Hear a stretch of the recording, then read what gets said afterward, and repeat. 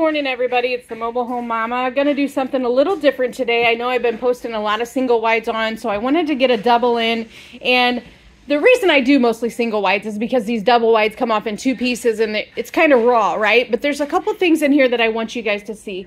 First of all, I, I've talked about this before, but I want to reiterate that when we do a double, we're going to ship everything that you need to finish off the home in the living room. So for example, here's the siding that's going to go on the ends of the home. Also, you're going to see the trim that is not able to be put up around the perimeter of the openings and along with some plumbing parts, the mud to finish off the marriage line and also the foam that goes in between the homes to get a good seal. If you order a storm door, you're going to see that laying in here as well, and along with the shingles that will finish off the roof cap. So that's that. I also wanted to show you guys what it looks like to get finished ceiling joints when you're doing a drywall home. So I think this is an amazing option to add your it just really looks nice and clean and crisp and fresh. So also i wanted to show off our new interior doors. Aren't these cute? Get a look at those.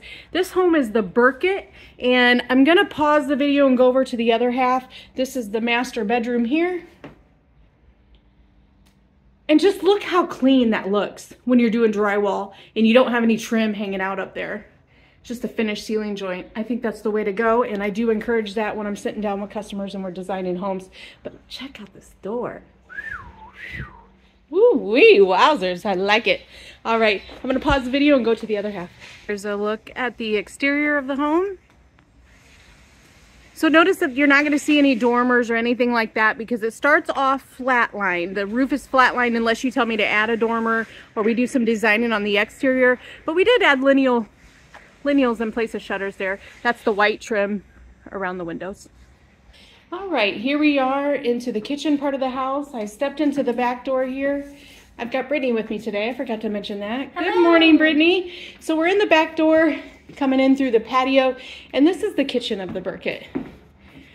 I love this extra large island, and especially when you add the legs to it, it just looks really classy.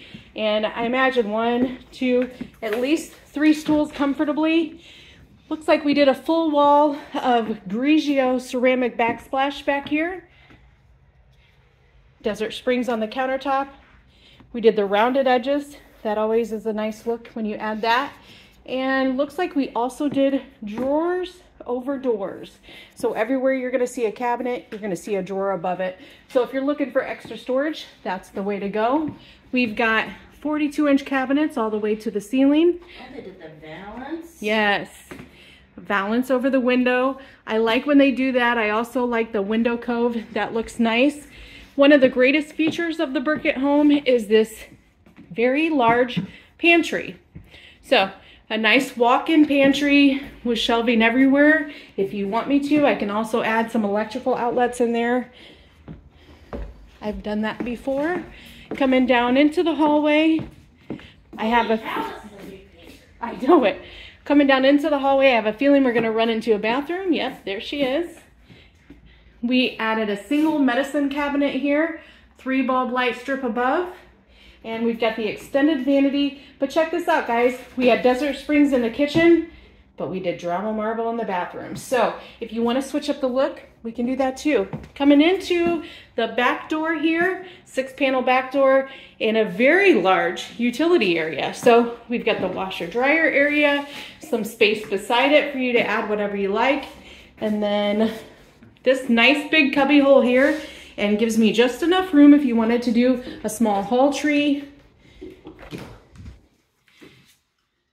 Water heater, and here's an option we don't see a lot. The water heater door. Most times you guys are gonna see uh, just a panel with hex screws all the way around, but you can actually opt for a real door, which is not a bad idea, I don't think.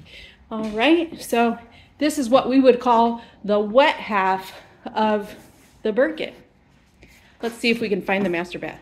All right, here we go. I know whenever I come over here to check a home that whenever they have the plastic pulled back, there's a room behind there. I never know what it is, but looks like we're looking at the master bath. We've got the 60 inch tub shower combination. Lots of elbow room on that commode. I mean, you can really, really um, feel like a wide open area there. Coming over here to the vanity, we've got a bank of drawers in the middle. We did trimmed out mirrors above with three bulb light strips above that. So nice and classy. Notice we've got the drama marble on the countertops, so they kept the bathrooms the same. And behind this door, we're gonna see a big linen pantry. And folks, last but not least, here we're, oh, not a linen pantry. Yes, that was a linen pantry. This is the master closet. It, it's always kind of tough to know what I'm looking at when I'm just kind of popping in and out. And I've decided that on some videos that I'll be doing next, I'm going to call those popcorn videos where I'm just going to roll up to a home and pop inside of it. And it'll be kind of a surprise for everybody. And I think that's going to be something that's really neat for you to watch. This is the Burket, ladies and gentlemen. Three bedrooms, two bath. Thanks for watching.